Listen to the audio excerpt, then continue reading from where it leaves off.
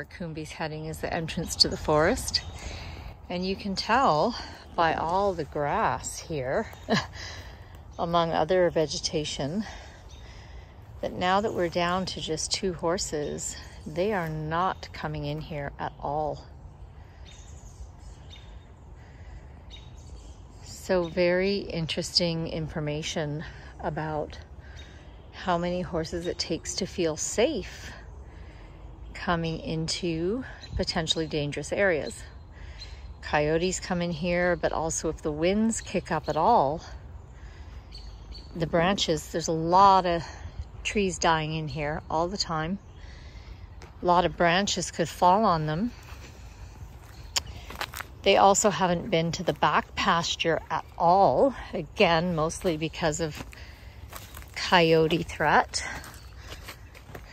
you know, maybe once every five or eight years there's a bear in the area, but not common. More common is a cougar will pass through. So with two horses, this is just right near the entrance and they're not even coming in here.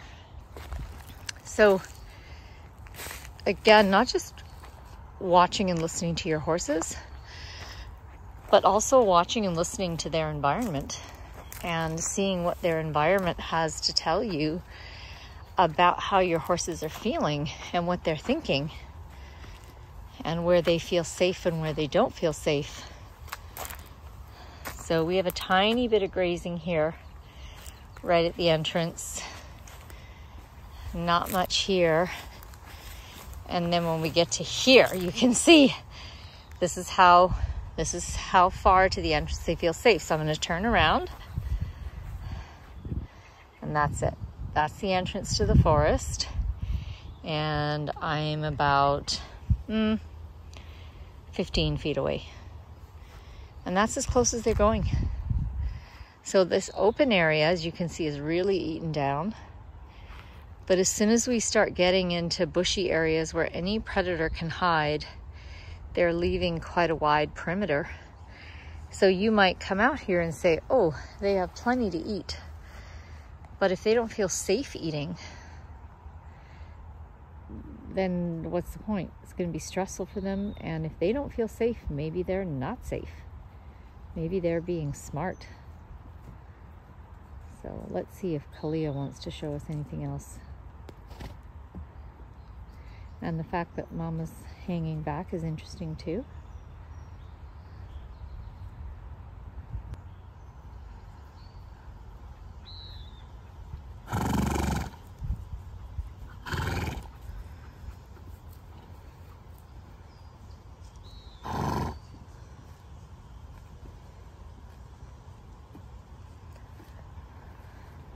So I'm going to walk back towards the entrance to the forest and see if they'll come closer because I'm here. Normally they do. But I tried to walk to the back over there and they would not. They just followed me. Odie just followed me halfway and stopped.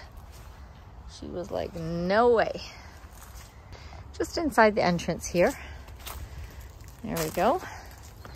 And I'm going to stand here and see what effect that has on their safety and their behavior.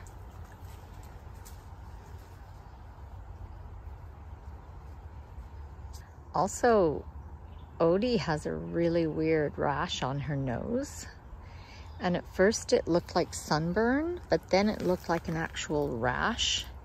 And now it's there's parts of it that have gone hard and crusty. And I've never seen, out of 11 horses here, I've never seen anyone with anything like that.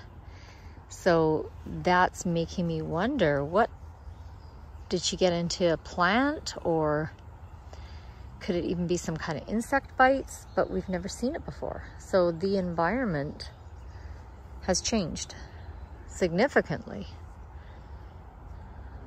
And we offered her calendula, comfrey, diluted wild oregano. She doesn't want anything on it and uh, it's been about a week now and it's starting to heal up so We trust that she knows what she wants. She's happily accepted diluted wild oregano for all the bites in her udder area and her chest. She's totally fine with that, but she doesn't want anything on the, the woundings on her face. So it doesn't look like they're gonna come over here at all. Not only are their bodies away from me, their energy and their intentions, their attention is away from me. So that's a clear message. That's clear communication and a clear answer. As humans, we tend to only like to hear answers that involve yes. or or maybe, or I'll think about that. And we're we're when we get a no, when we get a hard no, we're like, oh, they're not talking to me today. Yeah, they are. They just gave you a hell no. So always be on the alert for that because we have a default that when that happens, we think we're not communicating and we think it's not working or we're not hearing them, but we actually just don't like the answer we're getting. So now I'm gonna change the question and I'm gonna follow them and I'm gonna ask them, do you, I'm gonna follow you and I'm gonna stay back so that to minimize the ask for scratches and distraction. And I'm gonna say, is there anything you want to show me? What I did see in my walk through the woods is a ginormous wasp nest hanging from a tree branch, which I'd never seen before. And I, I kind of wondered, man, if there weren't human roofs and barn structures, where do these wasps build their nests? And I just had it answered. And uh, the wasps were very nice to let me take some photographs, but um, I also felt from them to keep a really wide berth. And then I felt for them to get out of the forest as soon as I could that, you know, it's not a good idea for me to be in there. So maybe there's a lot of wasp nests all over the forest this year. I don't know because I listened to them and I took the nearest path out. I'm gonna follow Kalia. Is she going to the water trough? Or is she going somewhere else? I'm gonna show people your nose. Yeah, you got some things on your nose, don't you?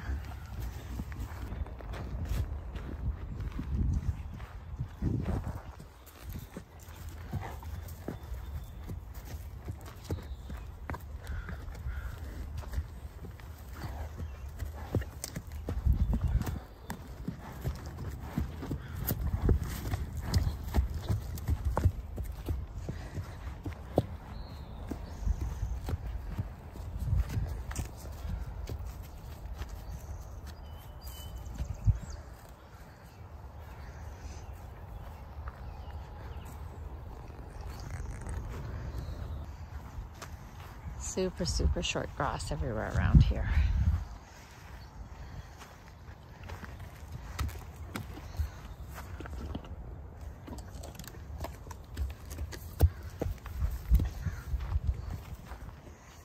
This is to so that if birds or rodents fall in the water, they can get out and also so they can perch there and drink the water. Same with insects too.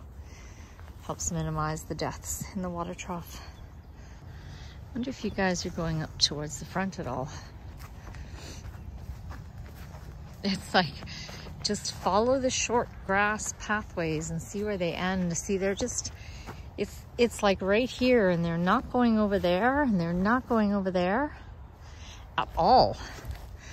So they're either getting enough to eat from these short pathways or they don't feel safe going anywhere near the veg the brush and it stops here. So they're not eating in this whole front area at all.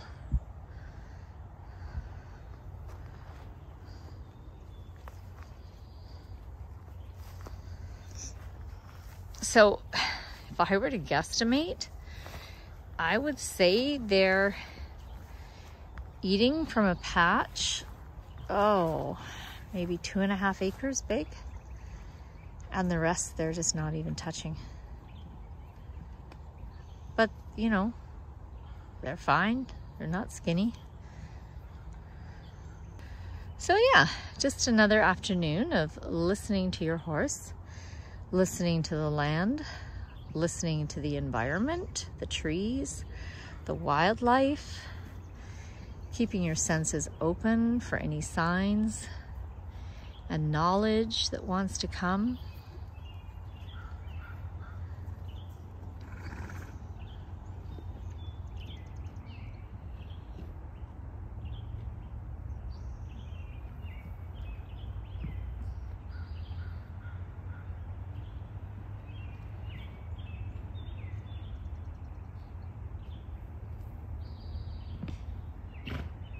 And that's how she keeps her coat so shiny.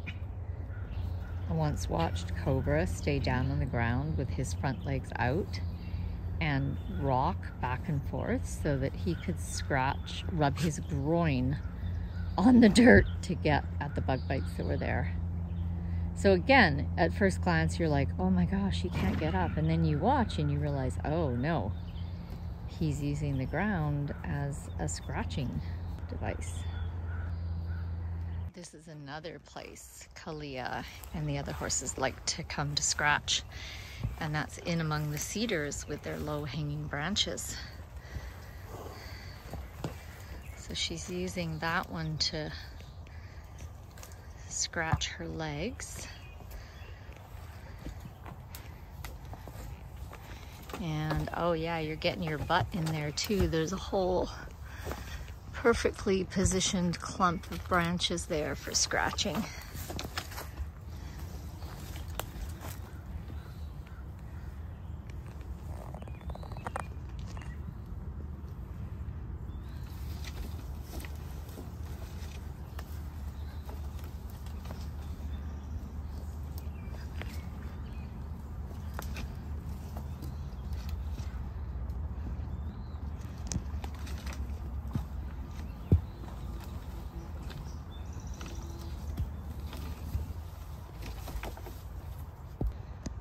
There's a cedar at the far end of the pasture that the branches are at the perfect height for scratching her sacrum, her pelvis, and her back. Yeah, we love cedar, don't we, Kalia? We're so grateful to cedar.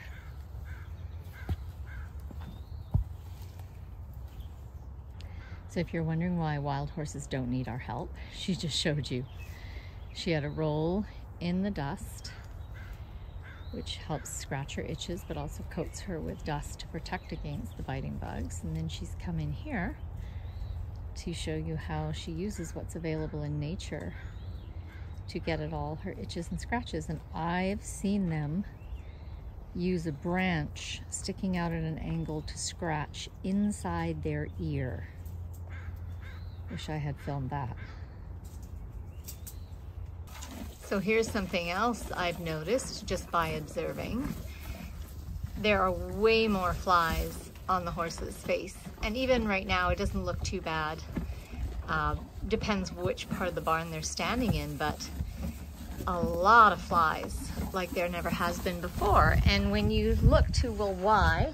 Okay, first of all, there's only two horses. So we don't have the fresh manure going into the pits, creating lots of food for wasps and hornets.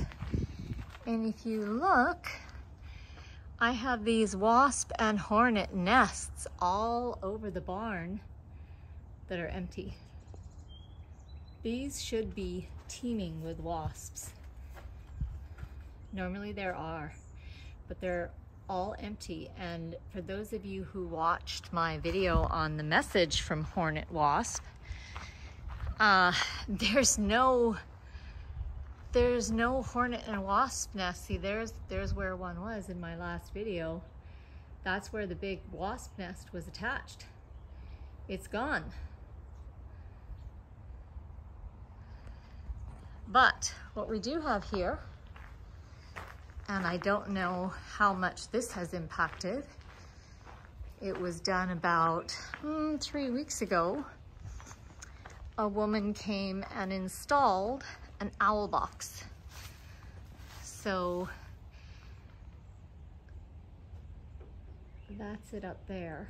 And I don't know how owls impact wasps and hornets, but even before she installed the the owl nest, there were no wasp and hornet nests here. And you can see here's, here's the other one that was a big nest in past years and this year nothing.